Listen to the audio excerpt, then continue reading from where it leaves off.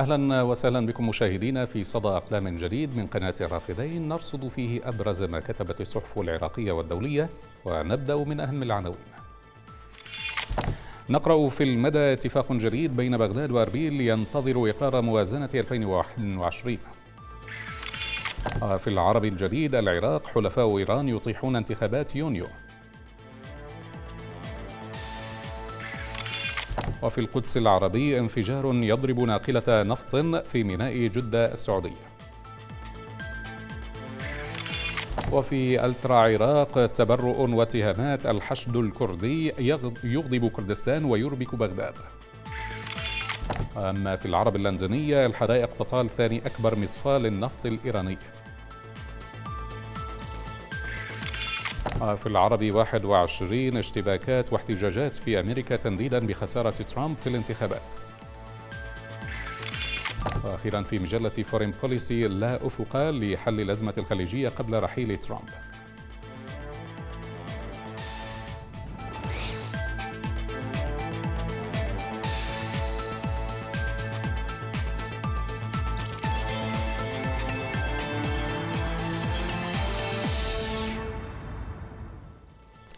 من صحيفة القدس العربي نبدأ.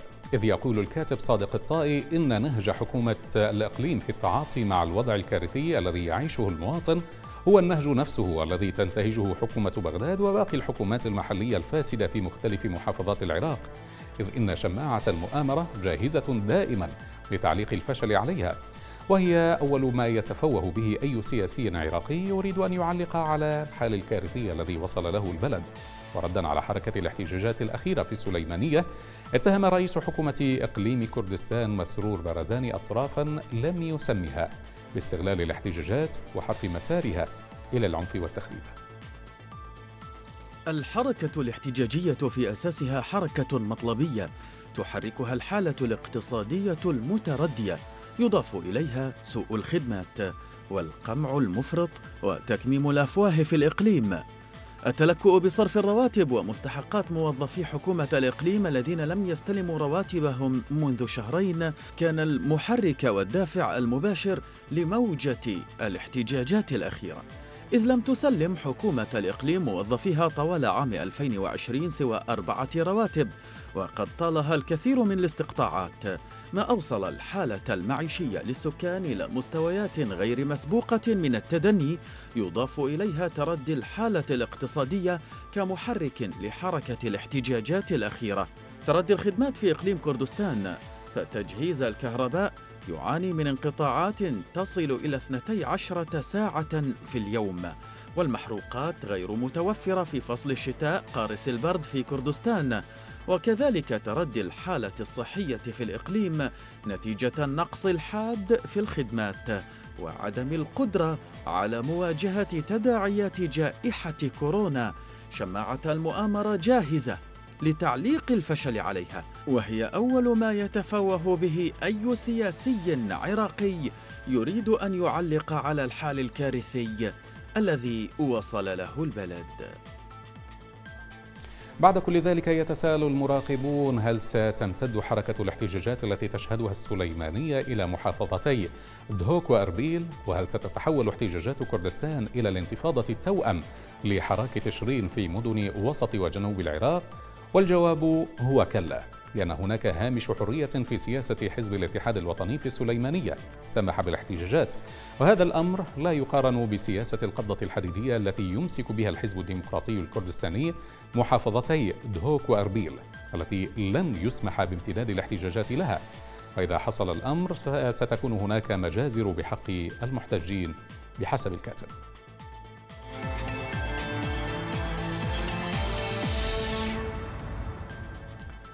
المكياج والحياة يسقطان في السليمانية وبغداد.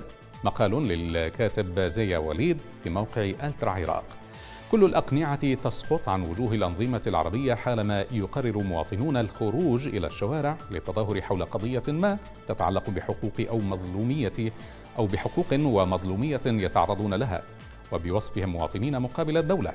وحين يبدأ وحينها يبدأ المسلسل من الديباجة المعروفة اتهامات بالتآمر إلى نهايتها المعروفة أيضا قمع واعتقالات. في إقليم كردستان العراق الذي يدعي مسؤولوه أنه الواحة الوحيدة للتعايش بين الطوائف واحترام حقوق الإنسان أو جزيرة في بحر من الصعوبات كما يعبر مسؤولون غربيون حين يتحدثون عن الحريات والتسامح الديني خرج متظاهرون احتجاجا على تردي الأوضاع المعيشية الاقتصادية فأخرجوا معهم الشكل الحقيقي للأحزاب الحاكمة هناك. افتتح المسلسل كالعادة باتهام المتظاهرين بأنهم مدفوعون من أطراف أخرى كالحزب العمالي الكردستاني والأحزاب العربية الشيعية. في نسخة مطابقة لتصريحات الأحزاب الشيعية ذاتها قبل عام تجاه تظاهرات تشرين. مع أول تظاهرة نوعية سقط المكياج الديمقراطي الذي نعرف أنه مكياج مع سقوط أول متظاهر برصاص القوات الأمنية. وبان للجميع شكل الحكومة والسياسة التي تتبعها الأحزاب المتنفذة. وازدواجية الدول الخارجية بتعاملها مع هذه الأحزاب وقريناتها العربية وهو أمر ليس بجديد. فالمنظمات الحقوقية والحكومات الغربية كانت تلاحق حكومة نور المالكي سيئة الصيت على خرقها للحريات وملاحقتها للإعلاميين والناشطين وتضييقها على المعارضة بشتى الطرق. لكنها تغض الطرف عن حالات شبيهة في إقليم كردستان. لم تبقي الأحزاب الكردية شيئا من تصرفات أخواتها العربية من تظاهرات تشرين إلا واستنسخته حتى في قمع وسائل الإعلام لكنها لم تتعرض لقنوات اعتيادية مثل NRT فقط بل اعتقلت كادر قناة العراقية الناطقة بالكردية وهي القناة الرسمية للدولة بسبب تغطيتها للتظاهرات ولنتخيل حجم التحدي والتجاهل حين تجمع السلطات الكردية بين إهانة الإعلام والدولة معا عبر قمع الإعلام بصفته إعلاما وبصفته إعلام دولة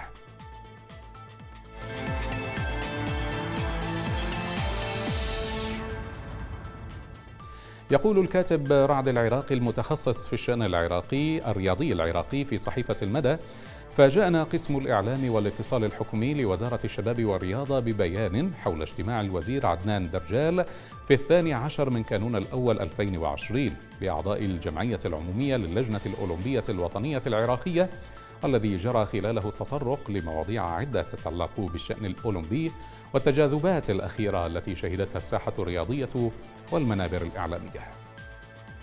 أكد بيان الوزارة على ضرورة اتفاق الجميع ونبذ الخلافات والابتعاد عن الظهور الإعلامي والعمل على خدمة المصلحة العامة ومنع أي تدخل خارجي في الشأن الرياضي العراقي. وسيتم التواصل مع اللجنة الأولمبية الدولية مباشرة دون قنوات اتصال أخرى. قد يكون عنصر المفاجأة الذي أشرنا إليه في بداية حديثنا يستند إلى حقيقة غياب دور الوزارة قبل وبعد انتخابات المكتب التنفيذي في الرابع عشر من تشرين الثاني الماضي وما رافقها من أحداث واتهامات وإساءات لسمعة الرياضة العراقية. بعد فصول من مشاهد الاحتدام وفضائح الاصطفافات المقيتة بين هذا الطرف وذاك انتهت بصفعة دولية بعدم الاعتراف بنتائج الانتخابات وكشفت هشاشة مستوى التعاطي والإدراك الحسي في التعامل مع قضية وطنية تهدف إلى إنتاج مكتب تنفيذي يقود الرياضة العراقية بعد سنوات من الفشل وسوء إدارة الأموال وتراجع خطير لمعظم الألعاب. باختصار رياضتنا لا تحتاج لحلول توافقية بين أطراف متخاصمة بل تحتاج إلى أبعاد أو إلى إبعاد تلك الأطراف التي ما زالت مصرة على التمسك بمناصب اللجنة الأولمبية برغم فشلها الذريع طيلة السنوات الماضية داخليا وخارجيا. وتحتاج أيضا إلى جمعية عامة توحد كلمتها وتحصن ذاتها وتغير من رؤيتها لمعنى مسؤوليتها في الانتصار للرياضة.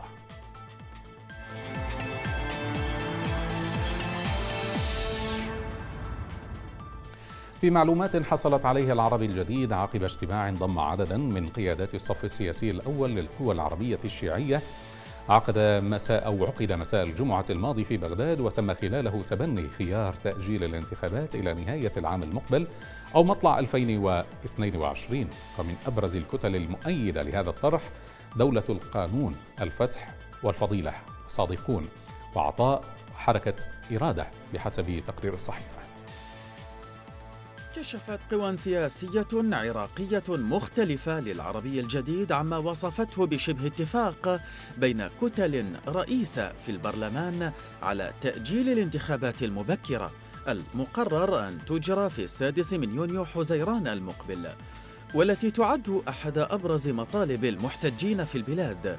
وبحسب اثنين من أعضاء البرلمان العراقي تحدثا للعربي الجديد فإن أربع قوى سياسية نافذة توافقت بشكل مبدئي على الذهاب إلى تأجيل الانتخابات البرلمانية لنهاية العام المقبل أو بداية 2022 وأشارا إلى أنه تم إيصال ذلك لرئيس الحكومة مصطفى الكاظمي الذي يصر على إجرائها في موعدها المقرر.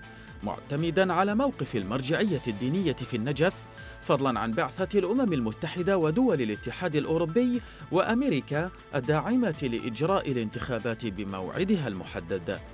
وتوقع أحد النواب ممن تحدثوا مع العربي الجديد أن تؤدي التظاهرات الحالية في إقليم كردستان العراق إلى تأييد الحزبين الرئيسيين الديمقراطي الكردستاني والاتحاد الوطني لتأجيل الانتخابات بسبب نقمة الشارع وتستند القوى الساعية إلى تأجيل الانتخابات وجميعها من التي تعرف بأنها مدعومة أو مقربة من إيران وأبرزها ائتلاف دولة القانون بزعامة نور المالكي والفتح بزعامة هادي العامري إلى رغبتها في ترتيب أوضاعها في مناطقها خصوصا بعد تراجع شعبيتها. في مدن جنوب ووسط العراق.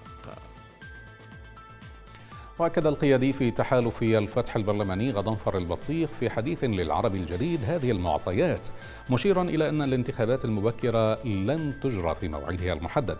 وأوضح أن التوجه العام للقوى السياسية أنها ستكون بداية 2022 أي بعد انتهاء الدوره الانتخابية الحالية.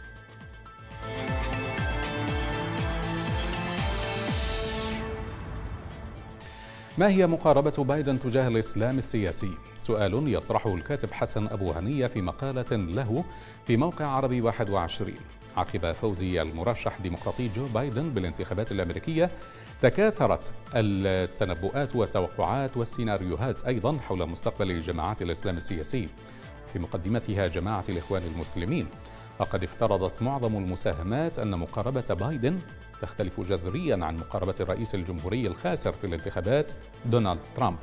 وفي حقيقة الأمر أن كليهما يتوافر على رؤية مشتركة تستند إلى نظرة براغماتية تقوم على الواقعية السياسية. جو بايدن عن أطر السياسة الأمريكية التقليدية في الشرق الأوسط التي تتحدد بمكافحة الإرهاب وضمان أمن إسرائيل. ويقع موضوع الإسلام السياسي في سياق رؤية يمينية شعبوية قادها ترامب بمنح الاستبدادية حرية مطلقة بالتعامل مع الإسلام السياسي. في مقابل رؤية واقعية لبايدن تقيد الاستبدادية ببعض قيم الديمقراطية والليبرالية. خلاصة القول أن بايدن لا يمتلك مقاربة واضحة حول التعامل مع الإسلام السياسي كما هو شأن سلفه ترامب. فكلاهما يستند في رؤيته إلى سياسة أمريكية براغماتية راسخة تقوم على مبادئ الواقعية السياسية وهي سياسة تسعى إلى تحقيق المصالح الاستراتيجية للولايات المتحدة في المنطقة. وهذه المصالح لا تنفك عن وجود دكتاتوريات محلية عربية ومستعمرات استيطانية إسرائيلية. ومن الصعب على جماعات الإسلام السياسي الخضوع المطلق لاشتراطات الدكتاتورية والاستعمارية. وقولبت أيديولوجياتها لتتوافق مع متطلبات الاعتدال على تلك المقاسات. ولذلك فإن أقصى ما يمكن أن يذهب إليه بايدن هو تخفيف الضغوطات التي تمارسها الدكتاتوريات المحلية وحليفتها الاستعمارية الإسرائيلية على جماعات الإسلام السياسي وخلق حالة من التوازنات خوفا من حدوث انفجارات اجتماعية تعيد صياغة ثورات الربيع العربي وهي المحددات التي تحكم السياسة الأمريكية في المنطقة بالتعامل مع الإسلام السياسي من نظريات الإدماج إلى مقاربات الإقصاء. يقول الكاتب تدرك الأنظمة الاستبدادية وجماعات الإسلام السياسي في المنطقة أن جوهر المقاربة الأمريكية في الشرق الأوسط يتعلق بتحقيق الاستقرار في حدود من الدكتاتورية الممكنة وممكنات أمن إسرائيل.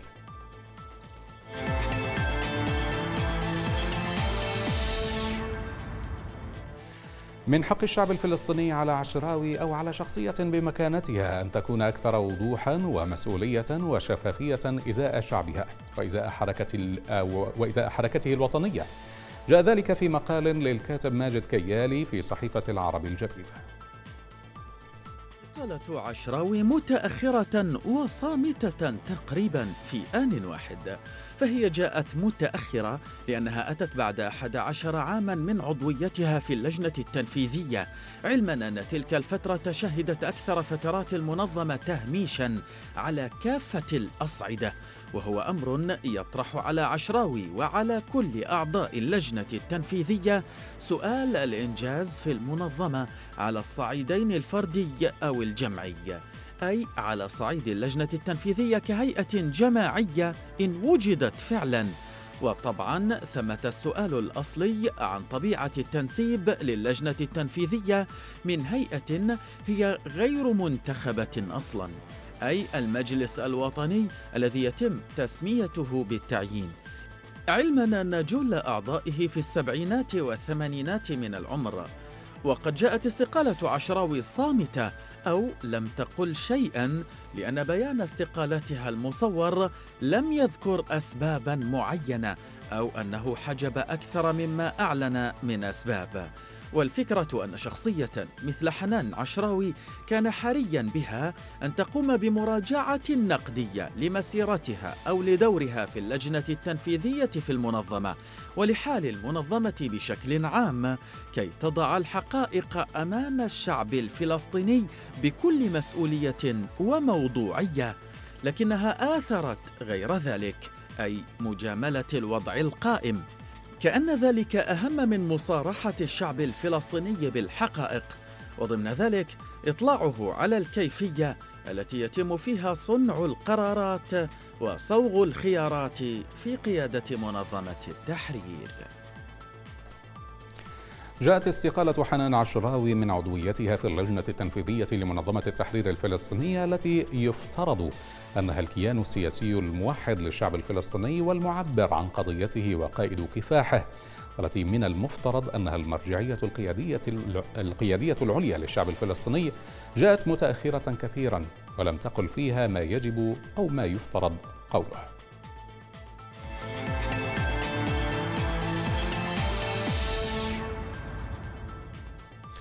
ستوكهولم في ظل الشتاء الإسكندنافي القاسي للنهارات القصيرة لم ترى مناطق سويدية عدة بينها العاصمة ستوكهولم.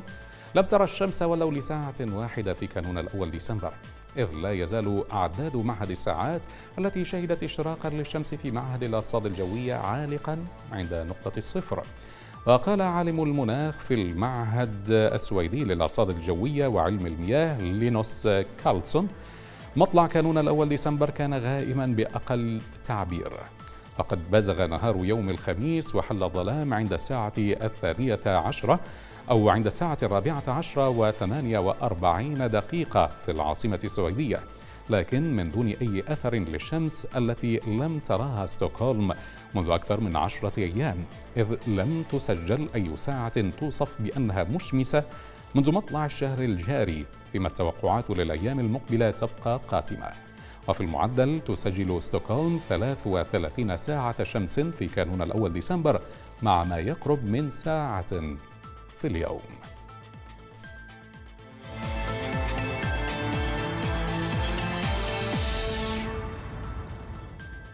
والآن مشاهدينا مع كاريكاتير اليوم.